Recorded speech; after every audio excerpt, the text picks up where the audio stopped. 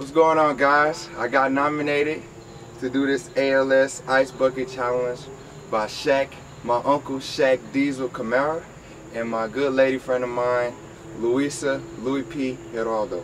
Um, I accept the challenge, but first I want to nominate Angela Ladacina. I want to nominate Marcus Muscleman Adudu, Darian B-Rad Brown, Miguel Icon Littlejohn, Cam Can Be Stunting, Coart, Will Slim Will Strong, and Andy BRZ Trong.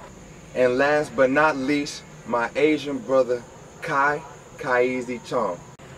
Y'all had 24 hours to accept this challenge. That's some ice water for your ass. Woo!